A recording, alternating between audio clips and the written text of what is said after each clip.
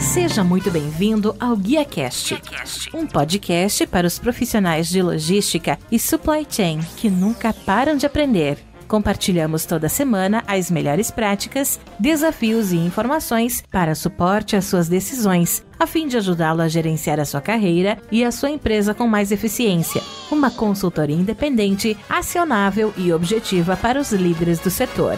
Vamos ouvir.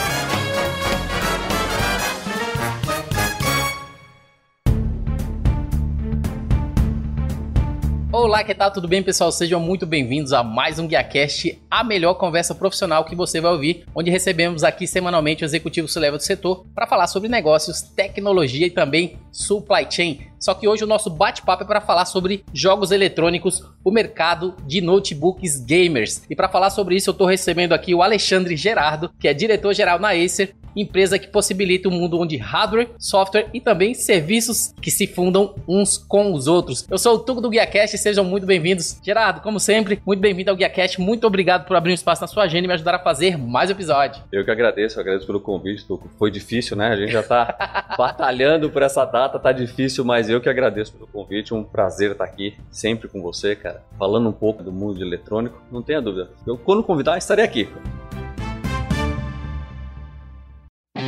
Reinvente a logística para o transporte de cargas e encomendas. A Cargo transforma a experiência de compras do consumidor e oferece soluções personalizadas para a indústria de maneira leve, sem ativos próprios, utilizando tecnologia de ponta. Cargo começa com Q. Acesse cargo.com.br, tecnologia que transporta.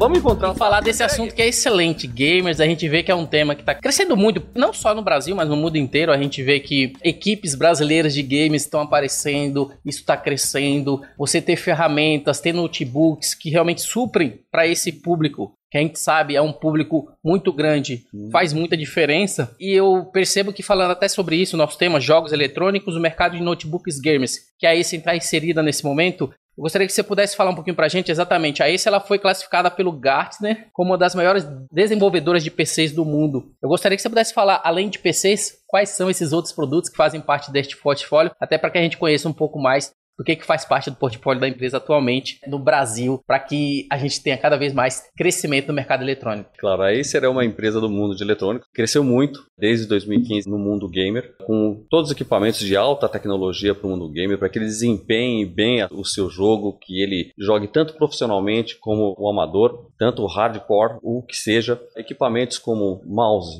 fones, teclados, para que ele desenvolva melhor o game dele, o jogo, que ele tenha um desempenho e possa desenvolver bem o seu jogo. E a gente fala jogo, mas virou profissão, né?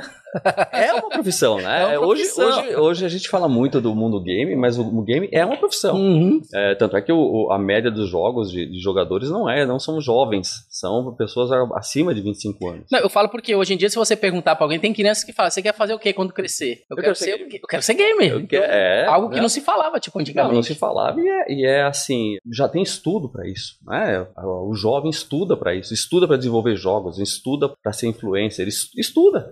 Estuda para ser influencer é ele tem toda uma mentoria para isso, né? É a profissão do futuro. Então, se você, você vê muito a garotada falando de ser gay, eu quero ser game. Não, eu acho que os pais têm que incentivar, né? Mas, ah, eu, Sim.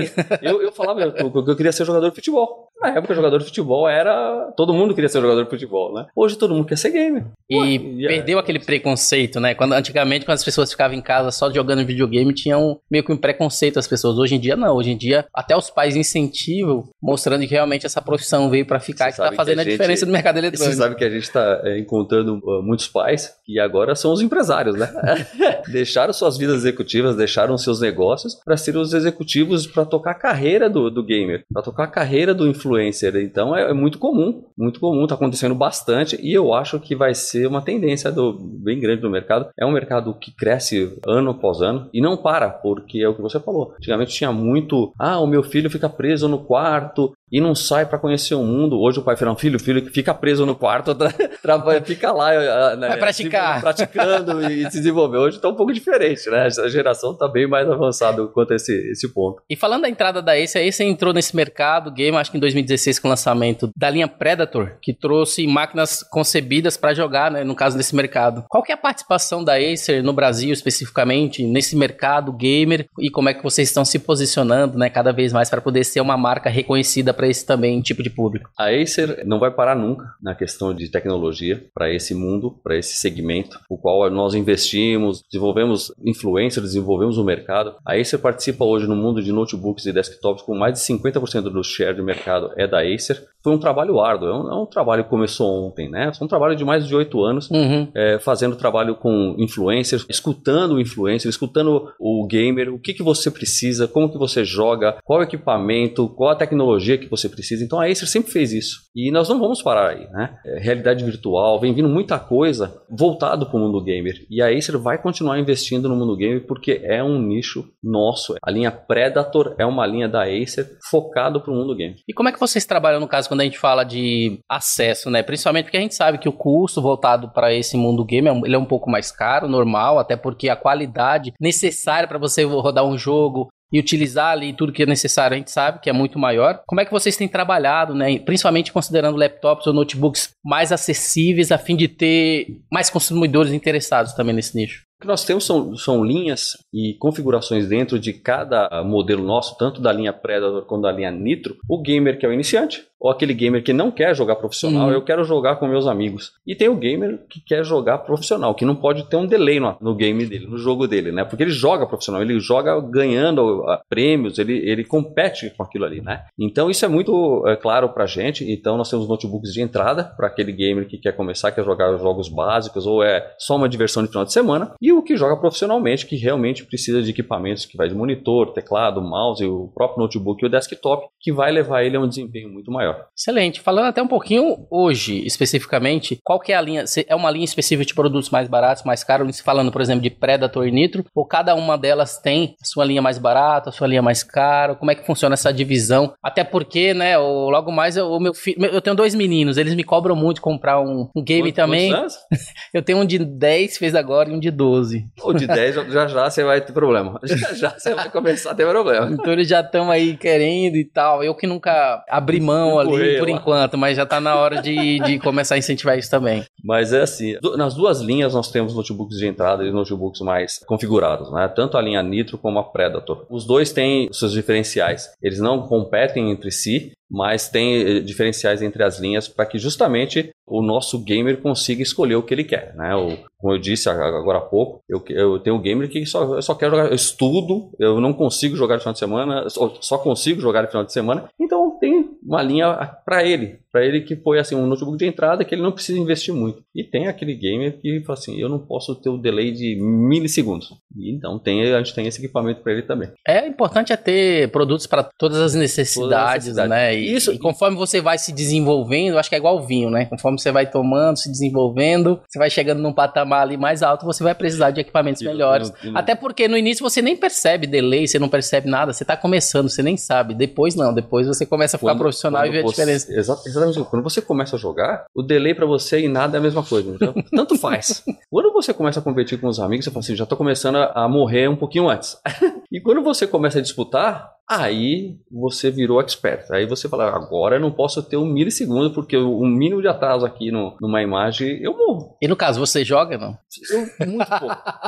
Muito pouco, muito pouco, mas eu gosto, eu gosto, eu, eu participo dos eventos games, né? É, acompanho o nosso, o nosso público, uh, gosto de ver, mas eu, eu não jogo assim, é, é, que nem como eu te digo, como se fosse futebol. Eu não jogo futebol porque você é ruim, não joga, Sim, então não é o último a ser escolhido. Então, se eu participasse de algum, algum time gamer, eu ia ser o último a ser escolhido. Então, eu prefiro lá, tô na plateia, tô lá. Minha função é ajudar eles, é administrar e ajudar eles a fazer o melhor desempenho no jogo deles. Você falou de evento, né? Vocês apresentaram recentemente na SES de 2022, que é aquela feira de eletrônicos, novos modelos, inclusive tanto da linha Predator quanto da linha Nitro. Uhum. Quais são as melhorias que foram apresentadas né, na feira né, de hardware, de processador e como tem sido a recepção para esse público gamer relacionado a essas novidades? A desse ano já foi, ainda foi online, né? A do próximo ano agora acontece na primeira semana de janeiro. Hum. O CS 2023 já é presencial. Vem com bastante agressividade na linha game. Nada desse ano, no começo desse ano, nós lançamos toda a linha Predator com novas placas, geração de processadores. Então isso já deu um up. E era realmente assim, ainda estávamos na pandemia, né? Ainda o pessoal estava em casa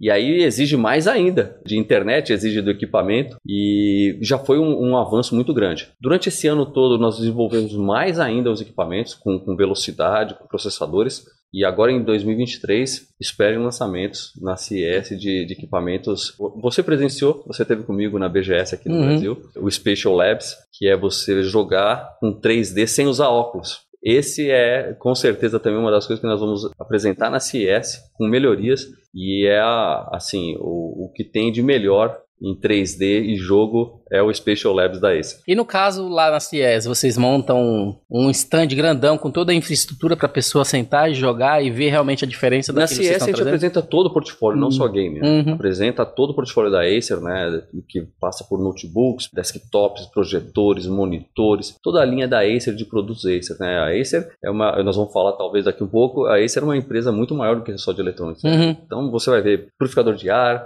vai encontrar patinete elétrico, então você ver muita coisa na CES muita coisa diferente. Não é só uma empresa movida só a eletrônicos. Mas essa vai ser, de qualquer forma, a primeira pós-pandemia que vai ser presencial. A primeira pós-pandemia presencial, que é feira sem ser presencial, é, é, é complicado, né? Nós experimentamos algumas delas online e é difícil, é difícil porque você, você apresentar o produto online é, é bem complicado. Sim. O cliente ainda quer tocar, quer, quer ter experiência. A experiência é tocar no produto, é jogar, é você mexer no produto, né? Então essa experiência ainda é um pouco online, não estava funcionando muito bem. Funciona, eu acho que para você fazer uma reunião, mas testar produto não é muito bom, não. Então, um pouquinho, pessoal, vocês que quiserem conhecer todos os produtos da Acer, não deixa de estar presente então na CS 2023 aí em janeiro, tá bom? Las Vegas, Estados Unidos. Pois é, Las Vegas, melhor ainda, né?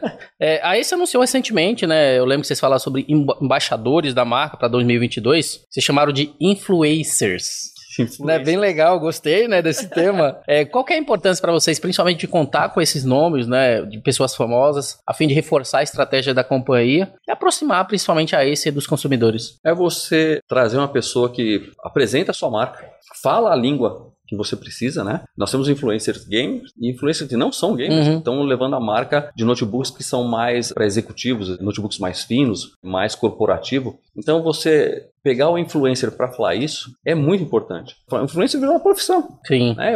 Você pega o influencer hoje, ele tem uma. Influencers, eles têm um, um, domínio sobre a marca, um domínio sobre o público dele muito grande. E para a gente é importante, tanto como exposição da marca, como também conversão de vendas. Para a gente é muito importante que eles divulguem a marca, estejam com a gente. O trabalho com eles é muito bem feito. Temos excelentes influencers e a gente pretende seguir com esse caminho deles, com outros e os que estão hoje já são fazem parte do grupo do influencers a gente pretende seguir com ele sim, que dá bons resultados, bons resultados de parcerias é, nós temos parcerias de 6, 7 anos. São parcerias com influencers que dão bons resultados e a gente pretende seguir com eles. Excelente. Falando até do mercado né, da Acer, né? A gente falou que a Acer está inserida no mercado game em diversos países, claro, uhum. especificamente. Qual que é ali o, o, mercado que a Acer tem mais público voltado para game? O Brasil já se tornou um desses também? O Brasil é o primeiro. Ah.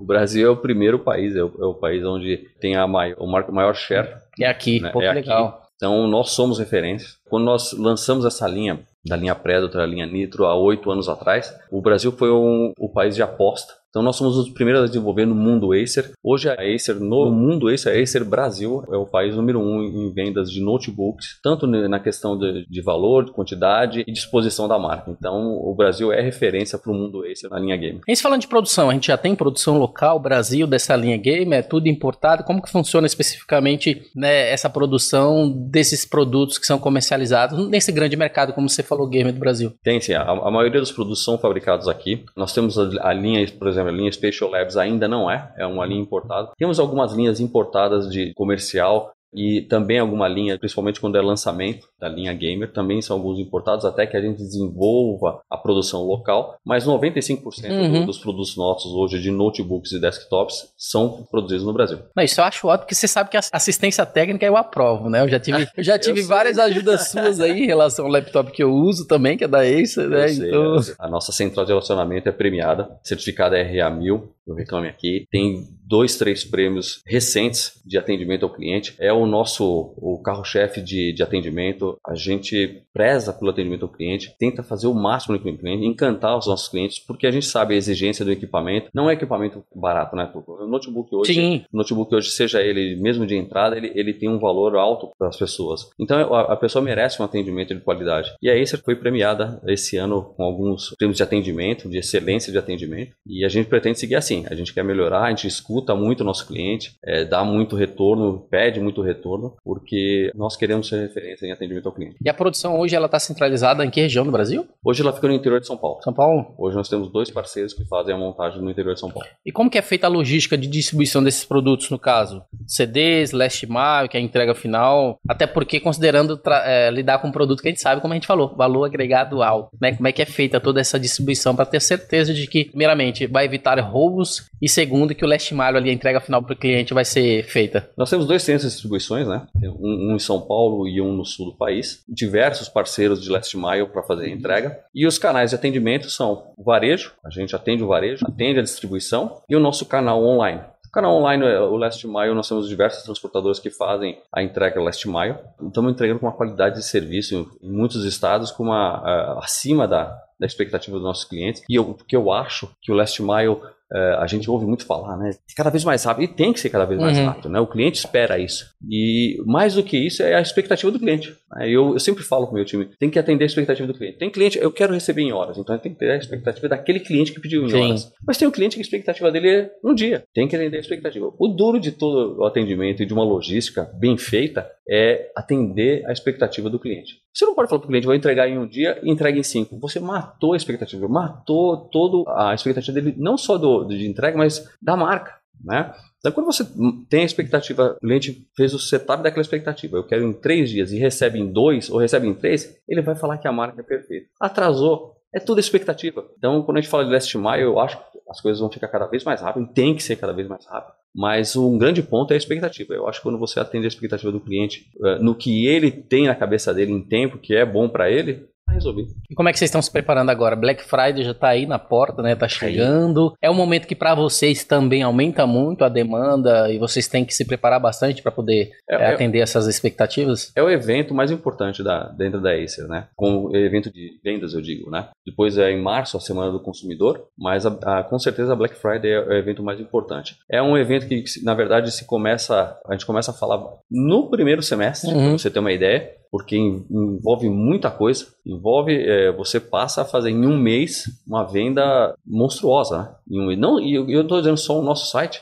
Nós temos os 3P parceiros nossos Sim. que também vendem. Então você quer ter toda aquela expectativa, negociações, então uh, produtos específicos para alguns uh, parceiros. Então isso começa muito antes, porque a empresa toma um vulto como empresa do dia para a noite em um mês é, é, uma expectativa, não só expectativa, mas vendas que acontece muito, é uma explosão naquele, é um pico no mês e a gente tem que se preparar muito bem para isso, justamente por causa do atendimento ao cliente, né? justamente para deixar nossos clientes satisfeitos num evento é, muito importante da Black Friday, ainda mais agora que vem, vem novidade por aí. Vem, que bom! Vem preços bons. Vem, eu, já, eu, já, eu já ia perguntar: tem promoção, tem preço falar, bom? Porque com certeza. Aqueles que estão interessados ali em renovar o seu, seu portfólio de equipamentos. É. Se preparem que os nossos parceiros estão aí é, é, para vender, é, fazer equipamentos com grandes ofertas. Falando até um pouquinho, a, a esse um tempo atrás entrou no mercado de energético, como a gente falou, para fim de dar mais energia também para os games ali durante as partidas, é, para quem joga ali videogame regularmente. Como é que tem funcionado né, essa, essa iniciativa de bebida, né, o energético associado ao público gamer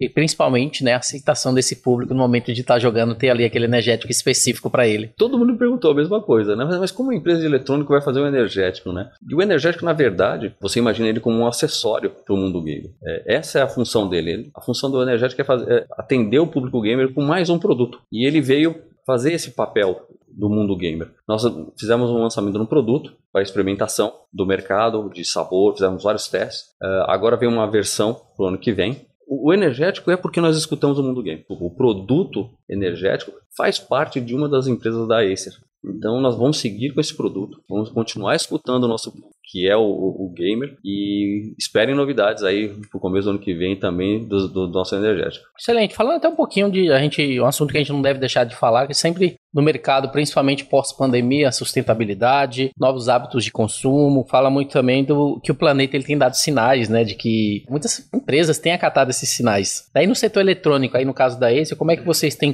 trabalhado nessa parte de sustentabilidade, se falando de troca de produtos, né, se falando de reciclagem de eletrônico, que eu acho que é um ponto importante, descarte, medidas sustentáveis né, internamente na ISA do Brasil. Você também acho que acompanhou na, na, na BGS. Nós temos agora a nossa linha Viro, a linha Vero ele é um notebook sustentável, carcaça e teclado feito com material reciclado. Está dando muito certo. Grandes empresas já em contato com a gente. Todo mundo que, que tem a pegada ESG, né, a pegada sustentável. Muita procura para que complemente é, as normas de sustentabilidade. Então é um produto muito legal, produto muito bonito. E na BGS você acompanhou a Acer fazendo troca e recolhimento de eletrônicos, brindando os nossos clientes dando brinde por, pela participação dele de fazer a troca ou simplesmente descartar o eletrônico dele ali com a gente. A Acer vai seguir nesse caminho. Nós temos já a nossa central de relacionamento totalmente preparada para fazer coleta dos nossos eletrônicos, que for preciso. Se você trocar o notebook Acer, ou simplesmente se quiser fazer o descarte do notebook Acer, nossa central de relacionamento está preparada para fazer toda a logística reversa disso. Nós temos uma parceria com a empresa que faz todo o descarte desse produto com a gente, né? E isso é muito importante. Eu Sim. acho que a Acer entrou também há alguns anos já na pegada de sustentabilidade, vai seguir nesse caminho, vai investir cada vez mais. Vocês vão ver teclados, mouse, vários outros produtos da Acer com essa pegada sustentável. Eu pergunto porque não, não é comum, principalmente para o brasileiro, descartar eletrônico. Até uma pilha comum é, é algo que a gente nem joga bastante, em qualquer viu? lugar. Tem mudado então, bastante. Eu acho que é, é vai, vai tomando consciência. Precisava iniciar, porque fica todo mundo, ah, precisa, alguém tem que começar. Uhum. Então, eu acho que eh, começou a ter uma melhora na questão de consciência da, da, sustentabilidade no Brasil. Eu digo pelos eletrônicos, está dando muito resultado. Você vê bastante consumidor de eletrônico preocupado, porque sabe da, da importância de descartar o eletrônico corretamente. Nós, na Acer, estamos vendo muito, muito cliente nosso buscando tanto o produto, esse produto nosso Vero que é sustentável, também também preocupado em descartar os produtos Acer corretamente. Fala até um pouquinho de componentes, né? A falta de componentes. Uhum. A gente sabe no mercado, né? Faltou muito componente, né? A falta atingiu diversas fábricas específicas de eletroeletrônicos, dada essa corrida global, né? Que teve por chips, uhum. né? Pela volta rápida de pedidos, né? Começou de novo, pedir, pedir, pedir, faltou chip no mercado. Como essa falta de insumo talvez afetou as operações de vocês aqui no Brasil? Como vocês se prepararam aí para superar essa crise de abastecimento que acometeu aí principalmente as empresas de eletrônicos? Na verdade, afetou todo mundo, né? Não só o uhum. segmento de eletrônico, afetaram outros setores. É, nós sofremos como todo mundo para fazer a, a, continuar atendendo os nossos clientes. Então, os dois anos foram críticos na questão de montar os equipamentos para os nossos clientes. E eu acho que com todo mundo que eu conversei, parceiros e concorrentes, foram dois anos de todo mundo brigando para ter componentes para montar isso. E aí isso não foi diferente. Nós sofremos para atender os nossos clientes com nossos pedidos, passamos pela pandemia, passamos bem, os componentes passaram a ser. E todo mundo falava, falava assim: não, mas assim, você está vendendo com facilidade. Não, estou vendendo facilidade, mas estou tendo problema para montar uhum. os equipamentos, né? Então a demanda foi muito alta e a oferta era muito baixa. Então foi isso que aconteceu. E não só eu, como os outros segmentos sofreram com isso, e a Acer não foi diferente. Agora normalizamos tudo isso. Uh, o mercado está aí, voltou, graças a Deus. Também já não, a gente não suportava mais tanta, tanto uh, sufoco para equipamentos, né, montar os equipamentos. E agora parece que isso tudo normalizou. Alguns segmentos ainda continuam sofrendo e, uh, e eu acho que ainda vão continuar. Uh, por mais um, um, ano pelo menos, mas sem uma escassez total. Ele ainda consegue se montar uhum. muito melhor do que foi nos, nos, dois últimos anos. A gente consegue montar os equipamentos com mais facilidade do que estava acontecendo dois anos atrás. Excelente. Alexandre, para finalizar, né, a Ace ela possui diversas patentes game, principalmente considerando relacionada à tecnologia térmica, que deixa ali os PC mais finos, tornando acessível e rápido para os jogadores. Como é que tem sido para vocês, principalmente como é que tem sido aplicar essas tecnologias, como é que vocês têm implementado especificamente essa tecnologia nesse mercado, a fim de garantir cada vez mais market share nesse modelo que você falou de Acer e gaming que vai durar durante com certeza muito tempo. A tecnologia, é, não só a tecnologia, como eu te disse, a Acer vai continuar trazendo as melhores tecnologias. Os próximos passos nossos são notebooks gamers mais finos, né? O nosso notebook para a área comercial de executivos finos são os mais finos que existem no mundo. E esses produtos são importados. E agora a gente está trabalhando para que os notebooks gamers sejam cada vez mais finos. É uma matemática difícil, porque você precisa ventilar, Sim. precisa de equipamentos de alta e você deixar ele mais fino. Nós lançamos uma linha onde hoje você tem um notebook de 14 polegadas game que você pode usar para trabalhar. Ele tem um alto desempenho, uma performance maravilhosa, mas você pode jogar com ele também, porque o desempenho dele é muito grande. A ideia nossa é justamente essa. A linha Predator também vai conseguir fazer com que eu jogue e trabalhe com o mesmo equipamento. Eu quero alto desempenho. De repente, você, por exemplo, precisa de renderização de imagens, Sim. precisa de alta velocidade, você vai conseguir trabalhar, mas eu gosto de jogar. Né? E isso também faz parte. Você vai conseguir fazer isso. Então, aí você também já fez um mix entre isso você consegue achar hoje equipamentos desse jeito. E equipamentos mais finos é, também é uma tendência do mercado. Os notebooks games vão, vão, vão seguir a tendência de achar o, o, mix entre deixar o equipamento muito bem ventilado, com grandes tecnologias, mas cada vez mais fino, fácil, de fácil de descarregar. Preciso de um game desse. Gerardo, essa foi minha última, última pergunta, né? Eu gostaria de agradecer a sua participação, a disponibilidade de contar um pouquinho da história da Ace, principalmente nesse mercado voltado para jogos eletrônicos eletrônicos. Eu gostaria que você pudesse, para a gente, deixar os seus contatos e fazer as considerações finais. Eu que agradeço, agradeço pelo bate-papo. É sempre bom estar aqui com você, cara. Quando a gente conseguir, pode convidar que eu estarei aqui, sempre que a gente conseguir. Falar comigo, pode entrar no meu LinkedIn, Alexandre.gerardo, faz o acesso lá, conversa comigo. Eu vou responder, tenho certeza, eu respondo a todos eles. Sou eu que respondo. Podem é, acessar e fiquem à vontade. De novo, prazer estar aqui com você, excelente. Conta comigo. E o GuiaCast teve a honra de receber Alexandre Gerardo, que é diretor-geral da Acer, onde falamos sobre o tema jogos eletrônicos, o mercado de notebooks gamers no Brasil. Se você gostou do programa de hoje, não deixe de acessar nossas redes sociais, que é GuiaCast em todas as mídias. Eu sou o Tuco do GuiaCast aqui, mais uma vez, falando um pouquinho sobre negócios, tecnologia e também supply chain. A todos vocês, até a próxima. Tchau, tchau.